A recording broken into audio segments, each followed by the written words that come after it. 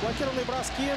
Примерно равная статистика. 8-7 в пользу магнитки. И какая атака сейчас проходит. Выручает Олкинора. И накрывает шайбу ловушкой. И вновь Хайру Хайрулин в эпицентре события. Он бросает касание. Чевелев добивает. И вот тут Хайрулин попытался доработать момент до конца. Пошел ведь на пятак.